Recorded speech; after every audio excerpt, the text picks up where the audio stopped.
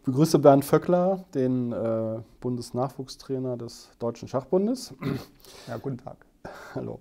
Ähm, erste Frage ist, seit wann sind Sie, sind Sie in diesem Amt? Ich habe 2003 am 1. April witzigerweise das Amt angetreten, also mittlerweile schon fast 15 Jahre. Und, und äh, wie sind Sie dazu gekommen? Was hat Sie dafür Ich qualifiziert? bin von der Ausbildung her Mathematik-Physiklehrer und äh, habe ein Jahr im Schuldienst gearbeitet, allerdings in einer sehr interessanten Zeit, 89, 90, genau in, innerhalb der Wende äh, Unruhen, sage ich mal. Und da war es natürlich für einen Anfänger im Schuldienst sehr, sehr schwer, Freude am Unterricht und am äh, Schulleben zu finden. Und ich habe dann 1991 begonnen als äh, Schachtrainer äh, zu arbeiten und habe dann äh, zehn Jahre lang Landestrainer von Thüringen gemacht und bin dann 2003 zum Deutschen Schachbund So, gewechselt. Mathematik, Physik ist ja jetzt nicht das, nicht das dankbarste Fach. Schach ist da wahrscheinlich etwas dankbarer, ne, oder? Gut, Mathematik, Physik ist eigentlich auch ein Steckenpferd von mir, aber ich habe mich eben dann für Schach entschieden. War das äh, äh, dann Gymnasium oder an welchen? äh, Ich Schul- bin Gymna- Gymnasiallehrer. Gymnasiallehrer, ja. Ja, ja. Naja. Und ähm, äh, was, was genau ist der Aufgabenbereich des Bundesnachwuchstrainers im Schachbund? Das ist äh, quasi ein ziemlicher Spagat, sage ich mal. Und zwar bin ich also für alle unter 18-Jährigen im Deutschen Schachbund zuständig, die leistungsmäßig oder semi-leistungsmäßig Schach äh, betreiben wollen. Das geht also los bei den unter 8-Jährigen äh, in der Sichtung und geht dann eben bis zu den äh, Jugendweltmeisterschaften, äh, Jugendeuropameisterschaften als Delegationsleiter, als Betreuer. Also es geht nur um Spitzensport praktisch. Es nicht, geht nicht um den breiten äh, Nicht um den Nachwuchssport. Breitensport. Die, äh, das Aufgabenfeld definiert sich quasi dadurch, dass es äh, einen Jugendkader gibt im äh, sogenannten DC-Bereich und im C-Bereich.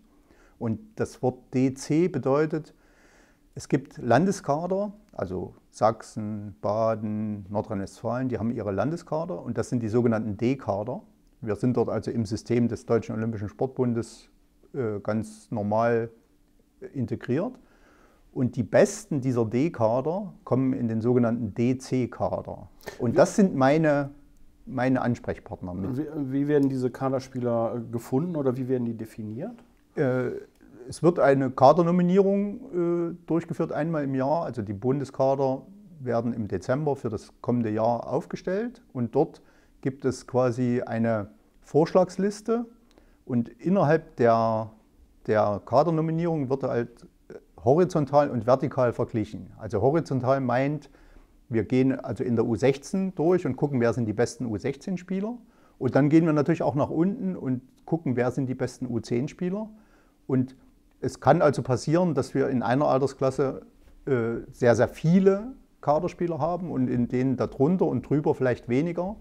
Wird das dann äh, Äh, verglichen mit der internationalen Das wird Spitze? verglichen mit der internationalen Spitze und natürlich auch intern verglichen mit der deutschen Spitze sozusagen. Also ein deutscher Meister U10, äh, Leonardo Costa dieses Jahr, der ist sogar erst neun gewesen, ist natürlich nicht zu vergleichen mit dem Roven Vogel, der äh, vor zwei Jahren Jugendweltmeister war. Aber im Prinzip werden sie natürlich innerhalb dieser Nominierung miteinander verglichen. Mhm. Und ähm, wie, wie genau funktioniert diese Zusammenarbeit, sagen wir mal, mit, ähm, mit den Vereinen und den Landesverbänden? Also ich nehm, jeder, also Ja. es gibt Vereine, die Jugendarbeit machen, die Trainer haben, es gibt äh, Landestrainer und äh, Sie waren auch Landestrainer von Thüringen. Wie, wie genau ist das organisiert?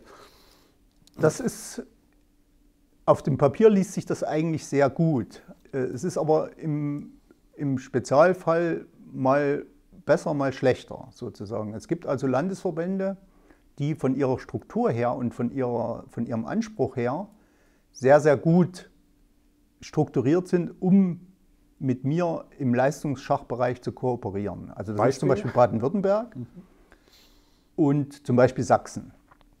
Das heißt, äh, im Prinzip ist in Baden-Württemberg und in Sachsen die Konzeption des Deutschen Schachbundes eins zu eins nach unten umgesetzt. Sie kümmern sich also um ihre D-Kader, sorgen dafür, dass die besser werden. Und wenn die im DC-Kader sind, werden sie auch entsprechend äh, vom Land auch noch mit gefördert und äh, äh, da funktioniert das ganz gut. Vielleicht nicht so gut sind einige andere Landesverbände, die durchaus auch gute Kader haben, gute Spieler und Spielerinnen, aber wo das nicht so ganz von oben gut gesteuert wird. Also die führen dann so ein bisschen Eigenleben. Sagen führen so ein bisschen Eigenleben. Mhm. Und das liegt manchmal an den Personen sozusagen, wo man dann keinen findet, der dafür zuständig ist. Und dann wird es natürlich schwierig. Und manchmal liegt es auch ein bisschen an der Struktur und, und da macht eben jeder für sich. Und äh, hat denn jedes, äh, jeder Landesverband auch seinen eigenen Jugendtrainer oder gibt es auch welche, die keinen haben? Es gibt ganz viele, zu viele Landesverbände, das finde ich schade, die keinen, nicht mal nebenamtlichen Landestrainer haben. Äh, und da ist es natürlich schwieriger. Also und äh, die Zusammenarbeit äh, vom, vom Schachbund, also jetzt im Jugendbereich, mit den Vereinen, gibt es da äh, gute Verbindungen oder läuft das alles über die Landesverbände dann? Na, es gibt einige Vereine, also zum Beispiel hier in Hamburg natürlich der Hamburger Schachclub, die also sehr viele Kader haben. Und da passiert auch sehr viel über den Verein. Also äh, wenn ich dort irgendein Anliegen habe, dann äh, kann ich dann eben schnell mal zum Telefon greifen. Früher den Christian Zickelbein anrufen oder jetzt eben Jonathan Karstedt oder auch den Dorian Rogozenko. Und da geht auch viel über den Verein. Gibt es denn eigentlich eine zentrale Steuerung, dass man sagt, also äh, dem Deutschen Schachbund sind alle Jugendtrainer der Vereine namentlich bekannt oder ist das eher so vage? Das ist eher so vage. Ja. Also es gibt auch viel so also, ähm, was wir, Einzelinitiativen. Was wir sehr, wo wir sehr darauf achten, äh, ist, dass wir also die, die A-Trainer des Deutschen Schachbundes im Blick haben. Das heißt also, dass wir zum einen die Ausbildung der A-Trainer immer regelmäßig vorantreiben und aber auch die Fortbildung der A-Trainer. Und dort finde ich eigentlich meine Ansprechpartner zuhauf. Dann lernt man die alle kennen. Mehr oder weniger. Ja, mehr oder weniger, ja, ja. Also meistens kennt man sie ja schon, aber dann wird es noch vertieft. Sozusagen. Und ähm, gibt es klar definierte Ziele jetzt im Deutschen Schachbund für den Nachwuchsbereich? Geht es, ähm, geht es jetzt darum, ja wirklich Spitzenspieler zu formen? Geht es darum, Schach populär zu halten? Äh, ist die Ausrichtung sehr eng auf den Spitzensport oder ist Breitensport ja. auch ein Thema?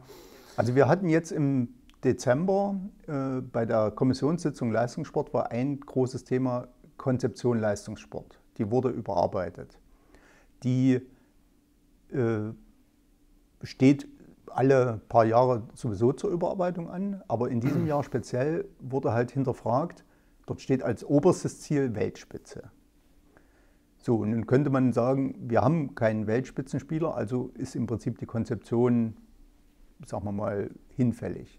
Aber wir haben uns im Erwachsenenbereich darauf verständigt, dass wir als Mannschaft durchaus um die Weltspitze mitkämpfen können. Das heißt, die Männer haben das äh, letztes Jahr gezeigt, die haben vor sieben Jahren mittlerweile den Obermeistertitel geholt und so weiter. Und bei den Frauen bin ich mir sicher, kommt die äh, der, die Medaille oder der Titel auch mal irgendwann. Also Mannschaft können wir das leisten und daraufhin ist quasi auch die Nachwuchsförderung abgestimmt, dass wir also es mindestens schaffen müssen, aus dem Nachwuchsbereich äh, potenzielle Nationalspieler zu kreieren. Die und wenn, oben mitspielen können, also genau, als Mannschaft. Und, und wenn dann spezielle Einzel- Begabung oder Einzelspitzenleistungen im, im Nachwuchsbereich äh, auftauchen, sei es jetzt zum Beispiel Vincent Keimer oder Jana Schneider bei den Frauen oder Mädchen, dann gibt es dort nochmal eine Sonderförderung. Wie ist denn so die Verteilung also jungen Mädchen im Nachwuchsbereich? Man hört oft, äh, eigentlich spielen Mädchen ab, also in einem gewissen Alter auch gerne Schach. Aber Ja. so mit der Pubertät ähm, lässt das Interesse doch dann stark nach.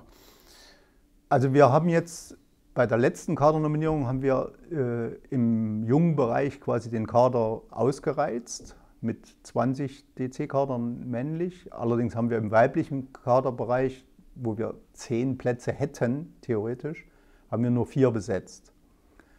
Das ist natürlich kein besonders gutes Signal an die schachspielenden Mädchen in Richtung äh, Kaderförderung.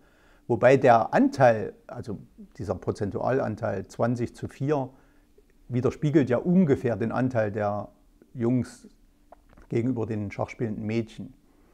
Und die Idee der Kadernominierung ist jetzt nochmal verstärkt dahingehend gesagt worden, sie sollen in die internationale Jugendspitze vorstoßen können. Das heißt also bei Jugend-, Europa- oder Weltmeisterschaften um die Medaillen kämpfen können. Und ähm, wie, wie genau sieht die Förderung der, dieser jungen Kaderspieler aus? Also, Ja, äh, es gibt also zum einen die, die Möglichkeit, also das sind immaterielle Förderungen. Das heißt, sie kriegen Freiplätze zur deutschen Jugendmeisterschaft. Das heißt, sie müssen sich nicht über ihre Landesverbände qualifizieren und können vielleicht in derselben Zeit ein hochwertigeres Turnier spielen. Dann äh, bekommen sie Möglichkeiten für internationale Startplätze nominiert zu werden oder, oder bestimmt zu werden, leichter als andere Spieler. Das heißt, wenn ich also äh, Einladungen bekomme zu Jugendturnieren oder zu Auslandsturnieren, dann kann ich dort auf, auf den Kaderpool zurückgreifen. Ja. Äh, und äh, zum, zum Dritten, was vielleicht, sagen wir mal, das eigentlich wichtig, also das mein Bereich wichtigste ist, aber äh, das könnte noch ausgebaut werden. Es gibt also regelmäßige Trainingslehrgänge, wo nur diese Spieler eingeladen werden. Kaderlehrgänge dann. Kaderlehrgänge, genau. Okay. Dann kriegen sie Training von äh, Genau. ja, Wir hatten- Großmeistern, die dann. Äh, Wir hatten jetzt Anfang Dezember äh, als Abschluss der Initiative für die Mannschaftseuropameisterschaft bei Blankenburg hatten wir in Baden-Baden einen sehr gut besuchten Lehrgang. Dort waren also 20 Kaderspieler aus meinem Bereich. Der Hauptpart des Trainings lag beim Arthur Yusupov.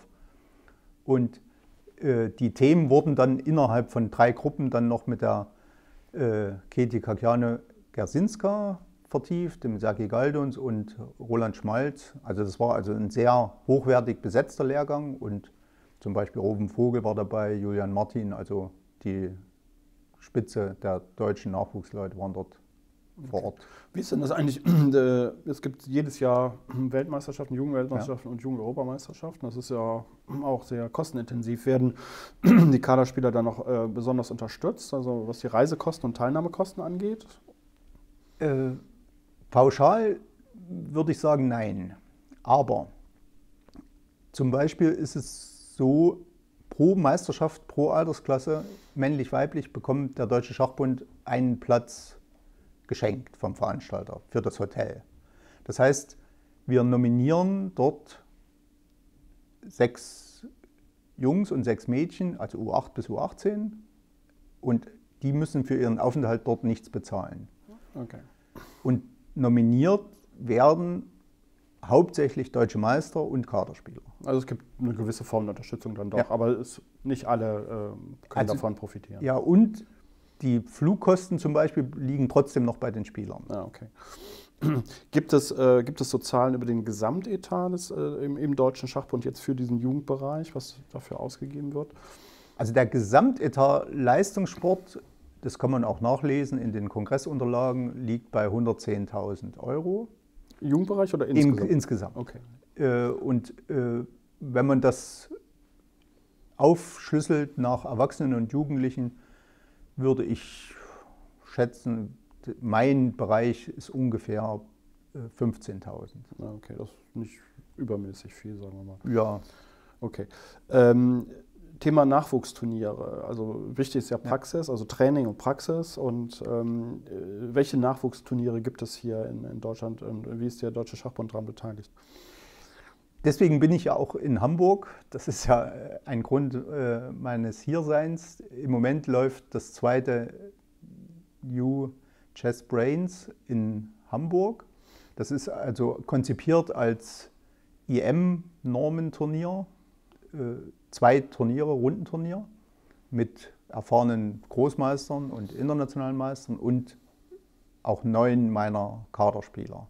Dort spielen also äh, von den Mädchen Jana Schneider, Fiona Sieber und Theodora Rogozenko und äh, eben noch sechs Jungs aus dem Kader, die teilweise die Erfahrung machen, dass eben ein Rundenturnier nochmal eine andere Herausforderung darstellt als ein Schweizer Systemturnier.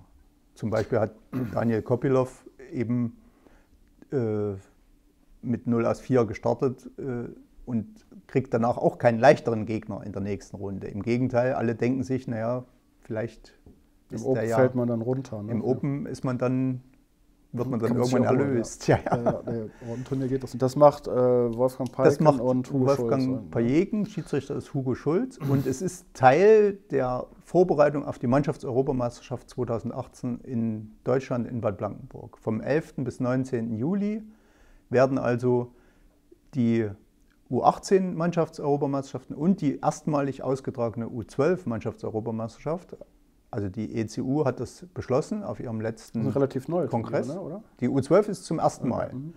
Äh, die U18 ist mittlerweile vielleicht schon zum 20. Mal ah, okay. oder irgend sowas. Und dort ist also, hat sich der Deutsche Schachbund aus dem Bereich Leistungssport im Rahmen des Lasker-Jahres beworben, hat den Zuschlag erhalten voriges Jahr. Und es wird also diese Meisterschaft stattfinden. Wir werden mit drei Mannschaften pro Turnier antreten und die, das Cluster, nenne ich es mal Nord, also die eine Mannschaft Nord wird also äh, dort vertreten sein. Das werden Louis Engel sein, Alexander Ries. Also Norddeutschland ist Nationalmannschaft Norddeutschland? Na, Nationalmannschaft Nord, aber wir nennen sie vermutlich Deutschland 3. Also. Ob die damit zufrieden sind. Ja, und äh, dasselbe passiert also bei den Mädchen auch. Die werden auch drei Mannschaften stellen. Und in der U12 äh, wird es ein ähnliches Cluster-System geben. Das heißt, die Josipov Schachakademie, die jetzt ein Projekt gestartet hat im vorigen Jahr für ganz junge Spieler, U8 bis U10. Sie werden eine Mannschaft stellen äh, in der Europameisterschaft U12. Und Berlin wird eine Mannschaft stellen, weil im Moment in Berlin sehr viel starke U10, U12-Spieler Die haben sind. bei den deutschen Vereinsjugendmeisterschaften war Berlin sehr, sehr stark. Ich habe das äh, zur Kenntnis genommen, aber diese Idee gab es schon vorher, aber das hat sich nochmal bestätigt, dass also dort die, die Schachschule Michael Richter äh, sehr gute Arbeit leistet im, im Raum Berlin. Ja, der ist bei uns auch nicht unbekannt als Autor. Ja, ja ich weiß. Also der macht offensichtlich sehr, sehr gute Arbeit. Ja, ja toll. Ähm, Nochmal kurz die Daten genannt. Also die Europameisterschaft ist vom 11. bis 19. Juli in Bad Blankenburg im schönen Thüringen. Beide Altersgruppen parallel. Also Par beide Altersklassen parallel und gleichzeitig. Genau. Und ähm, Jetzt gibt es im Deutschen Schachbund auch noch die Deutsche Schachjugend, die ist extra vertreten. Ja. Wie ist da genau die Abgrenzung zwischen dem Leistungsbereich äh, und der ähm, vielleicht eher breitensportorientierten Deutschen Schachjugend? Gibt es da eine intensive Zusammenarbeit es, oder gibt es eine Überführung? Es ist also so, äh, dass ich im, im Gremium bin, äh, das ist ein Dreiergremium aus DSJ und DSB. Das ist der Spielleiter, der Leistungssportverantwortliche der DSJ, den gibt es auch, und ich, die also den leistungssportlichen Teil oder den sportlichen Teil der deutschen Meisterschaften beleuchten. Wir vergeben Freiplätze, wir diskutieren über eventuelle Sonderfälle und so weiter. Äh, das ist also die Zusammenarbeit zwischen DSJ und DSB, funktioniert an der Stelle also auf kurzem Weg. Sehr eng, ja. ja, ja. Mhm. Und natürlich ist es so, dass ich also praktisch seit Anfang meiner Tätigkeit bin ich immer bei den deutschen Meisterschaften die ganze Zeit dabei und nutze das ganz, ganz häufig für Sichtungen, für Gespräche mit Eltern, für äh, Planungsdetails, auch für Nicht-Kaderspieler, weil es sind ja, sagen wir mal, 90 Prozent aller beteiligten Jugendlichen sind ja dort vor Ort. Und diejenigen, die nicht deutsche Meisterschaft spielen, die habe ich eben in der Sonderförderung. Die sind dann befreit aus irgendwelchen Gründen. Okay. Und ein anderes Thema im Nachwuchsbereich ist natürlich Schulschach. Ist das, ähm, tangiert das Ihren Bereich auch oder? Da muss ich sagen, dass da also die Verbindung. Es gibt im Prinzip wenig Verbindung zum, von Leistungsschach zu Schulschach, weil das geht ja alles über die Vereine. Das heißt also die, die äh, Bewegung Schulschach sozusagen voranzubringen und, und, und weiter auszubauen, liegt bei der DSJ oder im Breitenschachbereich des DSB, aber nicht in meinem Also wer einen Leistungsbereich will, geht sowieso in den Verein und genau. dann kommt er auch in den Bereich des Richtig. Deutschen Schachbundes. Ähm, jetzt gab es ja eine extrem erfolgreiche Nachwuchsgruppe, das ist die Prinzengruppe, die einige Ja. Großmeister hervorgebracht hat. Wenn ich mich richtig erinnere, war das, waren Sie auch Mitinitiator dieser Prinzengruppe? Ja, Okay. Also- und äh, in der, also in der Jugendrangliste, was im Dezember waren, ich würde mal sagen, sieben oder acht äh, Jugendliche noch vertreten in den Top 100 Ja. international. Jetzt fallen ein paar raus aus Altersgründen. Gründen. Gibt es da ein Nachwuchsprojekt? Na, zuerst muss ich sagen, dass also die Prinzengruppe als solche für mich selber überraschend sehr, sehr gut funktioniert hat und es gab ja im Prinzip keinen Ausfall. Das ist eigentlich erstaunlich. Also wir sind gestartet 2009 mit vier Spielern und zwei Spielerinnen. Es wurde zwar dann 2010 der, der Jonas Lampert gegen den Alexander Donschenko ausgetauscht, aber selbst der Jonas Lampert ist ja jetzt mittlerweile auch schon fast auch Großmeister. Großmeister, ne? und, äh, und die beiden Mädels haben zwischendurch auch Nachwuchsmedaillen äh, geholt. Die beiden Phyllis Mädels und Hannemarie Kleck. Ja. Und Hannemarie steht jetzt auch vor ihrem Comeback in der Nationalmannschaft, vermutlich zumindest. Also sie ist wieder in den Kader aufgenommen worden. Die hatte wegen ihres Studiums äh, pausieren müssen. Und äh, das ist also sehr, sehr gut gelaufen. Und was eigentlich bleibt, sozusagen, ist das Schachjahr. Die Matthias Blübaum und Dennis Wagner haben am Ende ihres, ihres Prinzendaseins nach dem Abitur ein Jahr Schach gemacht. Das wurde teilfinanziert vom Deutschen Schachbund und sie haben also mit dem Dorian Rogozenko äh, einen sehr guten Turnierplan, Trainingsplan aufgestellt und haben in dem einen Jahr äh, richtig losgelegt.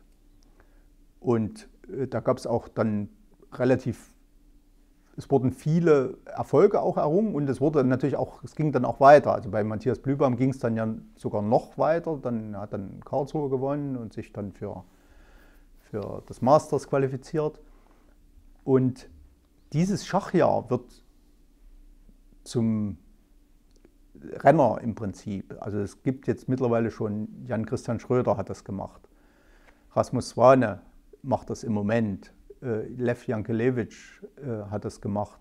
Dimitri Kollars und so weiter. Das ist also eine Sache, die, die ich für relativ erfolgreich halte, im Prinzip für fast alle Schachspieler, die sind meistens gute Schüler. Und nach dem Abitur sind sie vielleicht sogar erst 17, weil sie eine Klasse übersprungen haben. Und mit dem Studium wissen sie noch nicht hundertprozentig, was sie machen wollen. Und das wird also dort sehr gut genutzt, diese Also der Deutsche Idee. Schachbund empfiehlt nach dem Abitur ein Schachjahr. Ja, Viele wissen wirklich nicht, was sie machen sollen. Ja. äh, die, das zweite Standbein ist jetzt, dass auch wieder äh, Interessenten gibt für die Bundeswehr Sportfördergruppe. Ah, ja. Das heißt, äh, wir hatten äh, jahrelang immer mal wieder welche, die also in die Sportfördergruppe wollten. Und jetzt aktuell ist also Tore Perske und, und Theodora Rogozenko sogar äh, ein, Geht dahin oder ist ein das- Mädchen. Ah, nee, die ist- macht wollen, Abitur, ne? wollen beide im Sommer 2018 zur Sportfördergruppe gehen. Das finde ich natürlich auch einen sehr guten Weg, sich ein Jahr oder vielleicht auch zwei äh, richtig semi-professionell mit Schach zu beschäftigen, um vielleicht den Anschluss doch noch zu schaffen in Richtung 2-6 und äh, Nationalmannschaft. Gut, also es gibt jetzt keine feste Prinzengruppe mehr, aber es gibt diese Idee des Schachjahres, die dann vom die, Deutschen Schachbund auch unterstützt wird. Genau, so und über die Nachfolge der Prinzengruppe wird im Moment nachgedacht. Ja, also das war ein erfolgreiches Nachwuchsprojekt. Allerdings muss man ja sagen, dass von den, äh, von, den, von diesen äh, Nachwuchsspielern, von den jungen Spielern, wahrscheinlich eher keiner jetzt den Sprung in die absolute Weltspitze äh, schaffen wird. Also woran liegt das? Warum? Äh, in Frankreich geht es zum Beispiel Maxim Weichela Graf, in Bacro und so. In Deutschland ja. ist es irgendwie schwierig. Selbst in Polen, also Wojtacek zum Beispiel. Duda, ja. Ja, Duda, genau. Äh, ich glaube, das hat zwei Ursachen. Das eine ist das Schulsystem in Deutschland.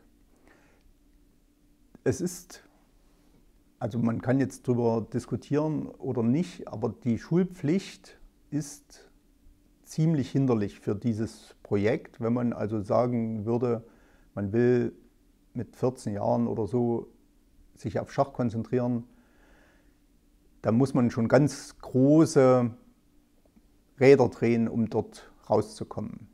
Also ich glaube, Carlsen hat das auch gemacht. Er hat mit 14 Carlsen, gesagt. Äh, Carlsen hat das Schule. auch gemacht. Richtig, der war erstens an so einer Sportschule und zweitens hat er dann natürlich gesagt, okay, ich versuche das jetzt mal.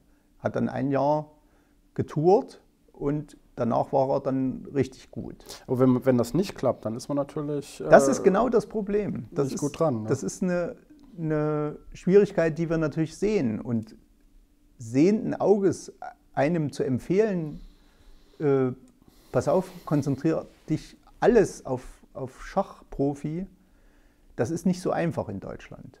Ich habe äh, noch mal eine Frage zu, zu der Art des Trainings. Also äh, was man so als äh, älterer Schachspieler beobachtet, ist eigentlich, dass die Jugend doch sehr auf den Computer fixiert ist. Ne? Also früher, ja. für, für manchen Spieler hat ja ein einziges gutes Schachbuch gereicht, um Weltklasse zu werden. Ne? So ja. die Partien nachspielen von, was weiß ja. ich, Keres oder Botwinnik oder wem auch immer. Heute Computer, Computer, Computer, große Mengen von Partien werden durchgelost. Die wissen alles über Eröffnung. Manchmal hat man so den Eindruck, ja, viele können, wissen dann hinter der Eröffnung nicht mehr so richtig Bescheid. Also ist das so oder ist das nur ein subjektiver Eindruck von mir? Es ist so. Also es stimmt beides. Ich habe äh, den Matthias Blübaum dieses Jahr, also letztes Jahr 2017, mal zum, zum Kaderlehrgang mit als Gast geladen. Er sollte mal seine Trainingsmethoden vorstellen vor den Jüngeren, also die sich für Bad Blankenburg qualifizieren wollten. Und da ist es eben tatsächlich so, da, da läuft auf dem Rechner laufen zwei Engines parallel und er moderiert quasi im Kopf die Engine-Züge sozusagen. Also er, er macht quasi den Alpha Zero des Menschen. Das berühmte Dreihirn-Projekt, ja. Ja, ja, in, in Abschwächung, ja, ja. Und was mich eigentlich wundert, aber wahrscheinlich ist es nicht so verwunderlich, dass das funktioniert, sozusagen. Dass, dass man tatsächlich mit dem Computer trainieren kann. Also, ja, ja, da gibt es ja viele Beispiele für. Also Carlsen hat ja auch viel mit dem Computer trainiert, aber auf der anderen Seite hat er natürlich auch dann ähm, sich Endspiele angeguckt, hat, ja, ja. hat die Klassiker sich angeguckt, kann ja jeden ja, Klassiker aufsagen. Ne? Und äh, sagen wir mal, der Computer äh, ermöglicht ja auch dies, dass man sagt, ich gucke mir jetzt mal äh, die klassischen Partien an. Die sind ja heute alle zugänglich. Früher war das ja nicht so. Ne? Ja. Aber na gut. Also es ist, äh, ich war kürzlich auf einer Tagung der aller Bundestrainer vom Deutschen Olympischen Sportbund. Also da waren natürlich nicht alle da, aber theoretisch waren alle eingeladen. Da war also der Christian Prokop vom Handball und so weiter und so fort. Und da war in einem Referat vom Lutz Nordmann von der Trainerakademie Köln, der übrigens auch sehr gut Schach spielt, wurde äh, ein Buch erwähnt und das war, heißt das Top, die neue Wissenschaft vom bewussten Lernen. Und dieses Buch gibt im Prinzip alles das wieder. Das heißt, es gibt natürlich talentierte Jugendliche, aber die müssen auch trainieren, die müssen arbeiten, ständig, dauerhaft. Aber was er schreibt, was wir vielleicht in der Vergangenheit ein bisschen äh, nur vermindert wahrgenommen haben, durch das bessere Training lernt man besser zu trainieren.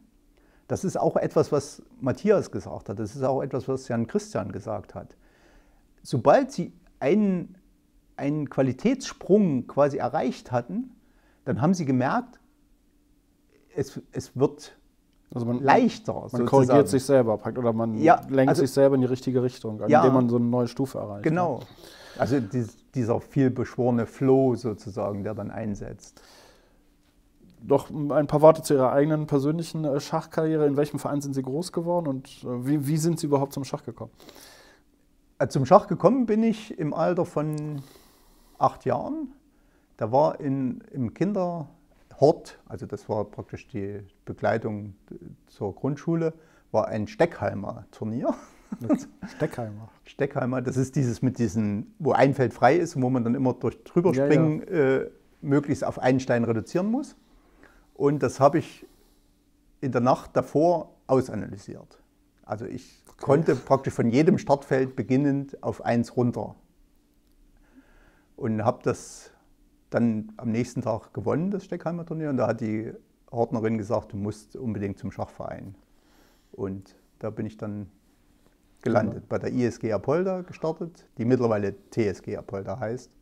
Dort habe ich also Schach gelernt und bin dann über die äh, DDR-Jugendmeisterschaften und so weiter dann äh, besser geworden. Und nach der Armeezeit bin ich dann zum, zur Mikroelektronik Erfurt gewechselt und jetzt spiele ich eben seit 32 Jahren beim ESK. Also Zeitweise Bundesliga, ne? War das vor zwei Jahren oder so? Vor zwei Jahren haben wir zuletzt Bundesliga gespielt. Ja, okay. Ja. Noch ein Wort an die Jugend. Warum soll man Schach spielen? Es ist ein sehr faszinierendes Spiel, das unendliche Möglichkeiten bietet. Vielen Dank.